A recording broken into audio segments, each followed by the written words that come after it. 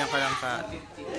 Nang isang katulad mo E di na dapat bang Pagkawalan pangako Wait a minute. Nakita ko yung nakita, nakita ko yung kapatid mo eh.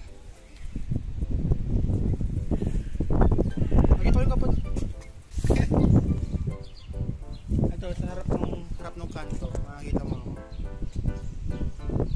Siya ba yan yung nakapatid? Siya yun. Ah, kita ko. Wala lang, para vlogger ako eh. Right, ah, sa ngayon po ay mag-i-invite kami sa may birthday na hindi po namin kilala. Let's find out kung ano po kami magiging social. Mali yun!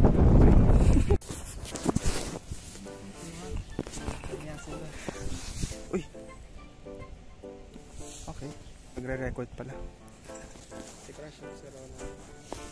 Pangan, yan? Ronald? Ronald. Anong tawag mo sa kanya? Ron. Ron? Yan.